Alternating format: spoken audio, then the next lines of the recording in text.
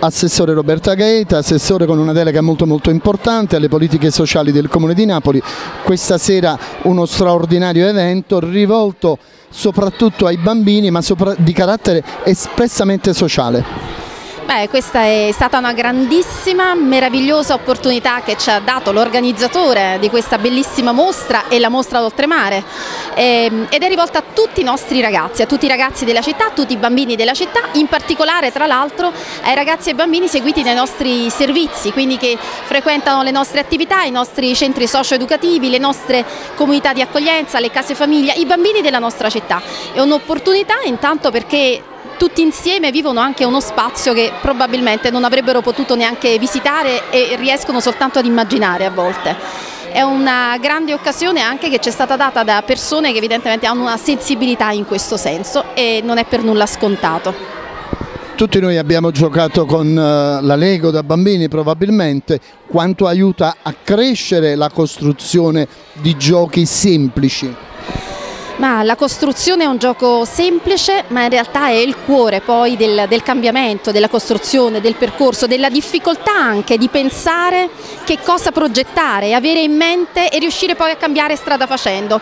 Può sembrare un, un gioco semplice ma in realtà è un gioco estremamente complesso perché consente di cambiare lungo la strada, di immaginare, di avere fantasia, di riprodurre anche quello che si desidera, quello che si immagina e di poterlo fare anche insieme. Quindi è un gioco che si può fare fare da soli ma che proietta un po' anche eh, i propri sogni, le proprie aspettative.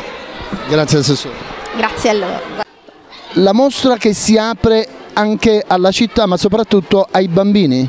Sì, è un evento bellissimo, innanzitutto è un nuovo evento, è la prima volta che lo facciamo e quindi come dire è una novità, però abbiamo voluto fare una preapertura e dedicarla ai bambini che in realtà non, mm, probabilmente non sarebbero venuti a visitarla.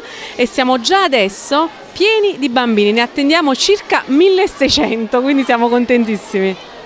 Immagino che questa, questi giorni dedicati alla Lego vedranno generazioni e generazioni che si sono fermati attraverso, lo, attraverso, il gioco, attraverso tutto quello che attraverso il gioco sviluppa la mente, per cui meraviglioso, meravigliosa iniziativa, eh, chapeau a chi ha pensato e a chi ha ideato insieme alla Lego questo, questa serata. E che dire insomma i bambini hanno bisogno di qualcosa di manuale che possa attivare il cervello e non solo passivamente ma anche attivamente. La manualità ha sempre creato delle ottime, ehm, delle ottime risorse per la mente, quindi l'ossigeno manuale per una mente più viva e forte. Va benissimo, grazie. Grazie, grazie a lei.